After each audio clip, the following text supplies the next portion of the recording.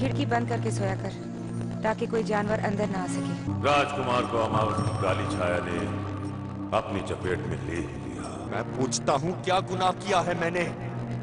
किस पाप का इंतकाम ले रहे हो मुझसे? क्यों अमावस की काली स्याही से मेरा भाग्य लिखा तुमने? जवाब दो क्यों? गाँव में किसकी मौत हो गई है? बद्री की। बद्री की? अब हमें वनराज पर कोई भी भरोसा नहीं है। हमें ऐसा सरदार चाहिए जो हमारी रक्षा कर सके। मेरे लाख मना करने के बाद भी कल रात वो घर से बाहर निकल गया और काली अमावस के प्रकोप का शिकार हो गया। इक्कीस साल पहले जो मैंने कहा था वो आज भी अटल है सत्य है। यहाँ से दक्षिण दिशा में सौ कोस की दूरी पर एक गाँव है माधोगढ़ वहाँ एक काली घाटी है। उस काली घाटी में तुम्हें अपने हर प्रश्न का उत्तर मिल जाएगा। यानी कि मेरा सौतेला भाई। तू अलकापुरी नरेश महाराज प्रताप सिंह का बेटा है। तुम्हें मानवों का विनाश करना क्योंकि तुम दानव सम्राट दानव सम्राट। संकेत। संकेत नहीं मिले हैं अब तक। मेरी घोर तपस्या ने उस दानव का वध करने वाले मायावी शस्त्र का ज्ञान करा दिया। मुझे उस शूरवीर निष्पाप कन्या के अस्तित्व का बोध करवा दिया। उस दानव के जीवित होने का प्रमाण दे दिया। फिर जिस दानव का वध करना है, जिसका अंत करना है, उसके रहने का ठिकाना क्यों नहीं पता चल रहा? महाराज प्रताप सिंह और उनके राष्ट्र की रक्षा करूँ तो कैसे? समस्त राज परिवार का विनाश रोकूं तो कैसे? अवश्य कोई है जो इस दानव को सुरक्षा कवच प्रदान कर रहा है। अवश्य कोई अद्भुत शक्ति है जो मेरी तपस्या उस दानव के बीच बाधा बनी हुई है। कौन है वो? कौन है वो?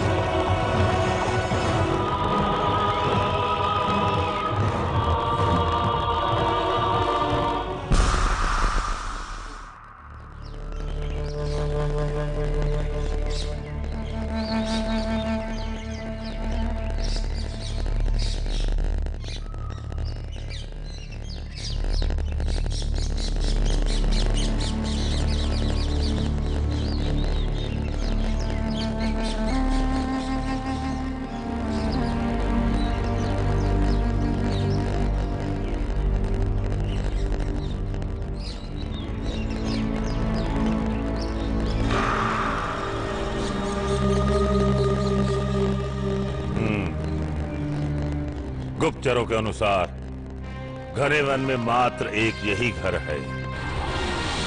अर्थात महारानी पद्मावती का निवास स्थान निसंदेह यही है। किंतु उनसे भेंट किस प्रकार की जाए? कोई ना कोई उपाय तो निकालना ही पड़ेगा।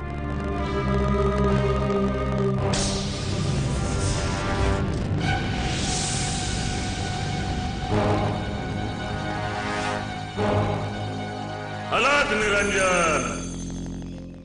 भगवान तुम्हारे कष्ट तुम्हारे संकटों को दूर करेगा। साधु महाराज को भिक्षा दो, पुत्री। साधु तुम्हारी भिक्षा का अभिलाषी है। यदि कुछ भोज मिले तो अति कृपा होगी।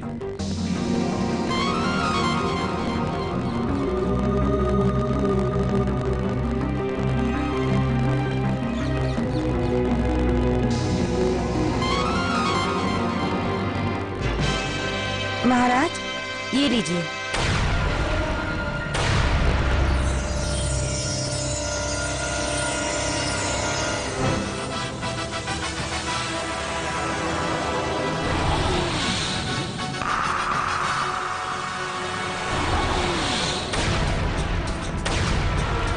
आचार्य रुद्रनाथ?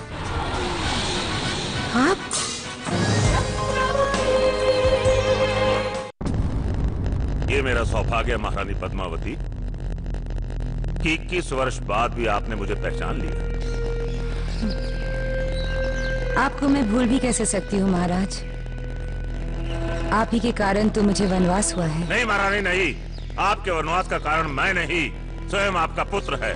मत दीजिए दोष मेरे पुत्र को। दोष तो उसके भाग्य का है। उसे मिले अभिशाप का है। और आज मैं केवल उस अभिशाप की पुष्टि करने के लिए आया हूँ। आप स्वयं होते कौन है पुष्टि करने वाले? किस वस्तु की पुष्टि? कैसी पुष्टि? अपनी भविष्यवाणी की पुष्टि।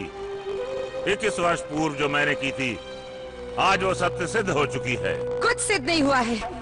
केवल एक झूठी वाणी के अलावा और कुछ भी नहीं था वो। सत्य पर पर्दा डालने की चेष्टा ना करे महारानी। क्या ये सत्य नहीं है कि अमावस की रात अभिशाप की काली छाया ने कुंवर को अपनी चपेट में ले लिया?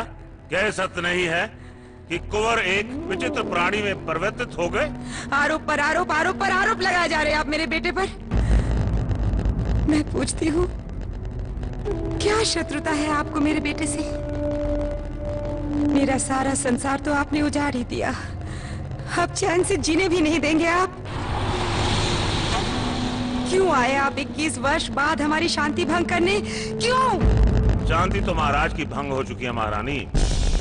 ऐसा कौन सा दिन है जब वो आपकी और अपने पुत्र की याद में व्याकुल ना हुए हो?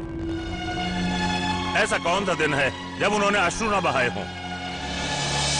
वो स्वयं अपनी आँखों का प्रकाश त्याग करने को तत्पर हैं। आज स्वयं उन्हें अपनी भूल का पश्चाताप है। ये आपको उस समय सोचना चाहिए था जब आपने मेरे बेटे को राज दरबार से निकलवाया था। उस फूल का एहसास अब हो रहा है आपको?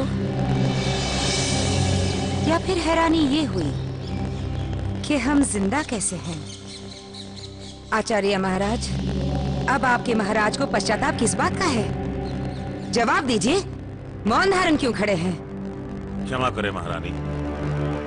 उस समय केवल मैंने अपना कर्तव्य निभाया था। महाराज को आने वाले संकट की चेतावनी दी थी। क्योंकि उनके कुलराज को विनाश से बचाना मेरा परम धर्म था। तो अब कौन सा धर्म निभाने आए हैं आप? आचार्य महाराज, मैं आपसे निवेदन करती हूँ, आप यहाँ से चले जाइए। हमें सुख शांति से रहने दीजिए। जिस हाल में भी अपने बेटे के साथ मैं यहाँ पर हूँ, संतुष्ट हूँ। इससे पहले कि मेरा बेटा आ जाए आप मेरे द्वार से चले जाइए। मिलने का तात्पर्य तो कुंवर से ही था महारानी। नहीं आप उससे नहीं मिलेंगे। और यदि आपने मिलने की चेष्टा भी की तो इसके उत्तरदायी आप स्वयं होंगे। ये प्रार्थना है या चेतावनी? इस समय तो आप इसे चेतावनी ही समझिए। और हाँ एक और बात अच्छी तरह सुन लीजिए आचार्य। यदि अब मेरे बेटे के साथ कोई भी षड्यंत्र रचा गया, या उसे किसी भी प्रकार की हानि पहुँचाने की कोशिश की गई तो मैं आपको क्षमा नहीं करूँगी।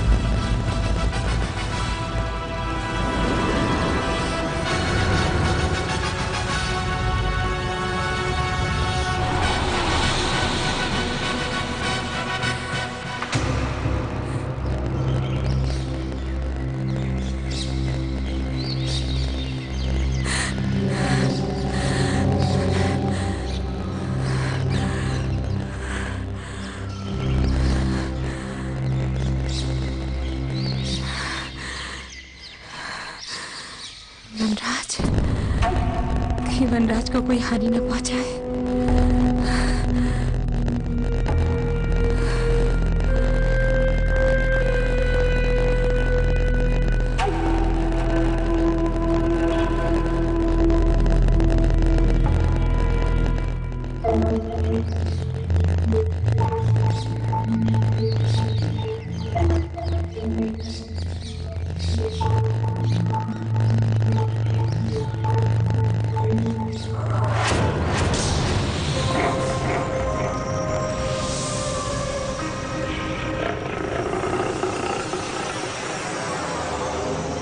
युवक।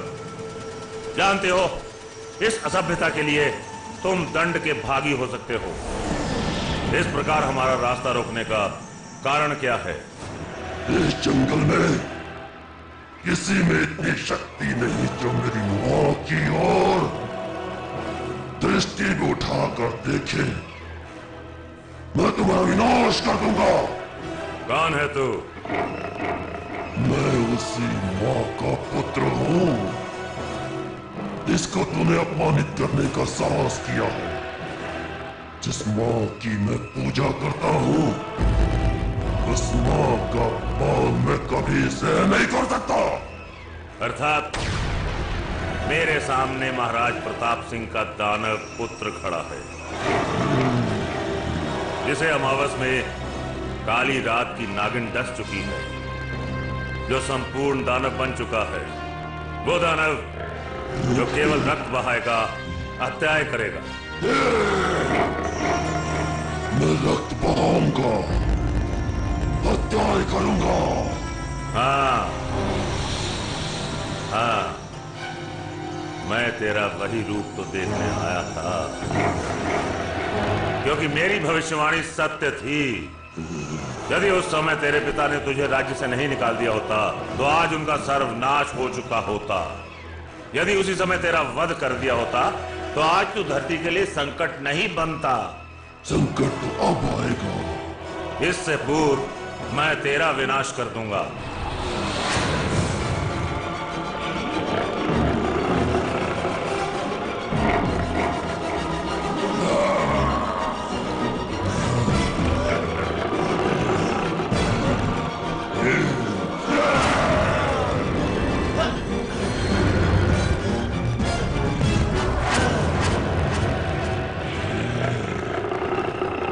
चाहूँ तो तेरा अंत नहीं कर सकता हूँ मगर नहीं जा तुझे जीवन दान देता हूँ